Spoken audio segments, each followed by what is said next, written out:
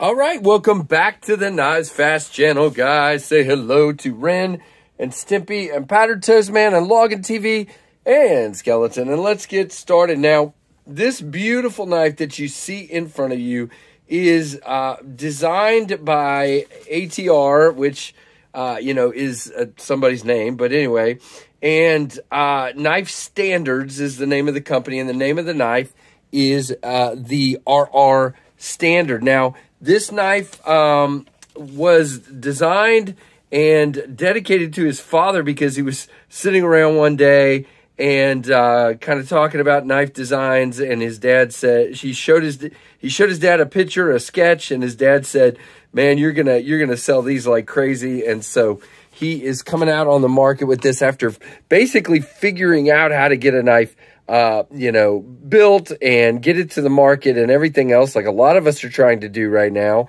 Um, he has got this to the market. He has had a successful pre-order and, uh, yeah, dedicated this to his dad. I mean, how cool is that? Now, these are made by, uh, Bestech in China. You can see this milling is just unbelievably great. You have, uh, milling lines that go this way. You have diagonal lines going up and down and, uh, more that go down and then it's it's not what I would call contoured. It is flat, but then with this big chamfer here, it turns out uh, contoured. Now, pivot does stand slightly proud because of that contour, and you can see that. Um, and you have a very long, nice lock bar here. Your lock bar cutouts on the inside, which is really cool. More of the same milling on this side. Now, you do see some spots where the milling's a little higher in a couple of places, but I bet they'll have that fixed for uh, the run. Now, it does have a loop over wire pocket clip. We'll talk about that. Well,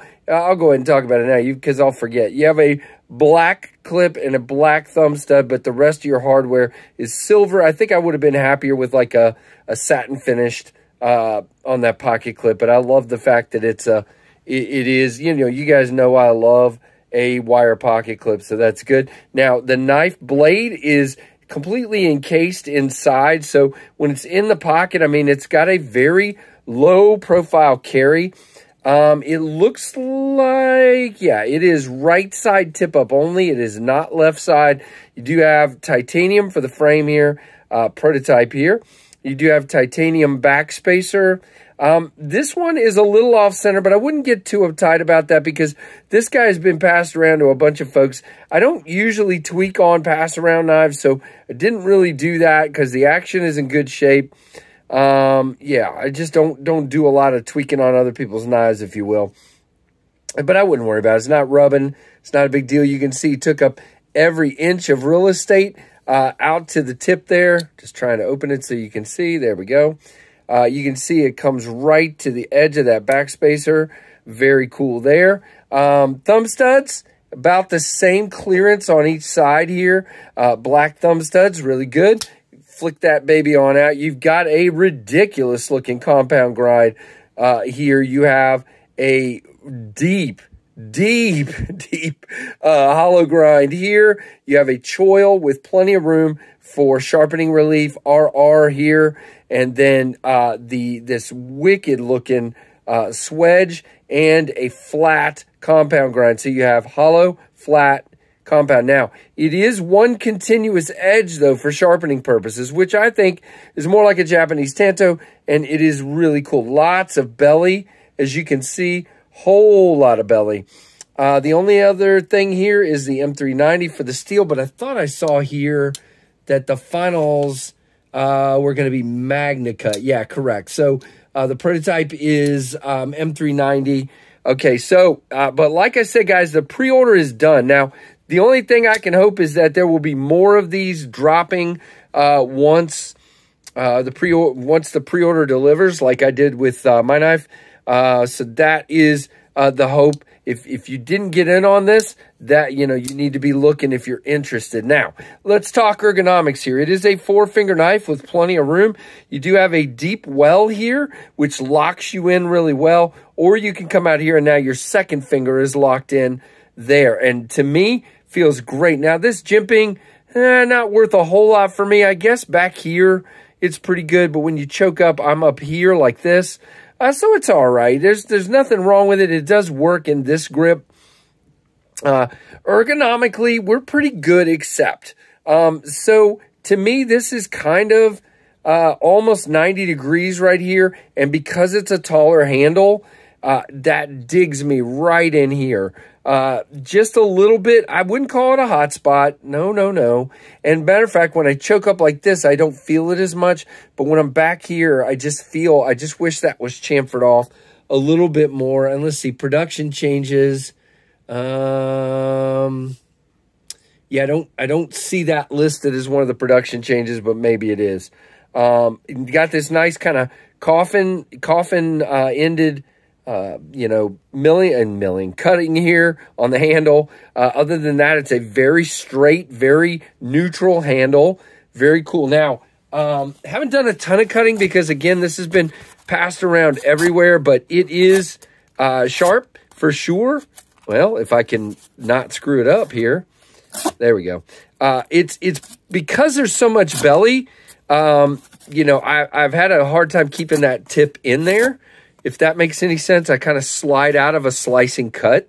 Um, but, you know, I'm not going to put a whole lot of uh, stock in this because, again, it's been passed around like crazy. Does feel sharp, does have a good pierce to it. Uh, but, again, uh, not too worried about cutting performance because if it's MagnaCut and it's coming from Bestech, it's going to be sharp when they're delivered. I'm I'm really sure of that. Now let's go over a couple of specs here. Um, going to keep this fairly short because, like I said, these are not currently available. Uh, they're going to be, uh, they were going for 385 The blade steel is going to be, is MagnaCut, 3.6 inch blade, uh, 0.14 on the stock. So a little bit thicker, but that hollow grind brings it down really thin. Uh, uh, let's see. The blade finish is hand ground belt satin on this one. Uh, 6A4V, 6AL4V titanium. Handle length 4.54, plenty of length. Um, 1.18 on that handle height. That's kind of what I was talking about. It's a little taller. Handle width, half an inch, just under. Um, overall length, 8 inches. It is a frame lock, of course. Um, T8 uh, captive on all the hardware is what he's looking for, and ceramic bearings. Now, uh, as far as action, this guy just uh, pops right out of there. Um, you could see a minute ago, it, it's more of a shaker, but it comes on down just fine. Uh, no problems whatsoever there. Um, very, very interesting knife. I mean, just cool. Now, lockup, very good. Uh, no blade play, no lock rock. About 45% there.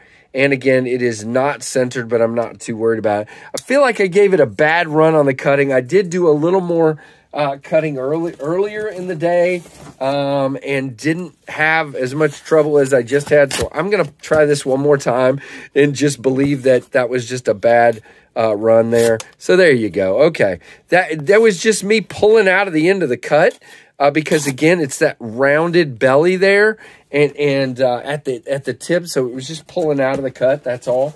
So yeah, I mean, it's definitely a good cutter. And by the way, they will come in these hard cases. Now, uh, if you ordered one, you already know, uh, you know, you're getting a, a pretty fantastic. By the way, the other changes, uh, let's see, where is it? Um, he's going to round uh, these the this the profile clips uh, and body screws so they're rounded and not sort of sticking up right there. They kind of stick up on that on that uh, uh, contour, uh, so they'll be rounded. Um, max blade height will be 27 millimeters. T all T8 hardware. MagnaCut, of course. Uh, he did have a DLC version. Yeah. So, yeah, that's basically it. But a really interesting design. Uh, not one I typically flock to, but now that I've had it in hand, I really dig it. And again, uh, I think I said it was almost five ounces. Um, doesn't feel that heavy to me in the hand. I don't know. I can't find the weight right now, but I saw that somewhere. It's like 4.8, uh, 5.07 ounces. Uh, but it's it's definitely does not feel bad. Uh, feels pretty good, and again carries very low profile. So there you go, guys. Uh, the knife standards are our standard, produced by Bestech. And I'd be looking for. Well, my camera cut off there. Uh, I realized I just realized too. I have the Devo uh, coaster here from doing a review earlier. This is not a Devo knife, uh, but that, that's okay. Kevin got a little extra plug. Check out Devo knives, but this is the knives standards knife. So sorry that was there, but uh, yeah. So sorry it cut off. Uh, anyway, great knife. Check it out, knifestandards.com. Give me a thumbs up. Give me a comment down below. Let me know what you think of this fantastic knife. And thanks for watching whew, the Messed Up Guy Knives Fast channel.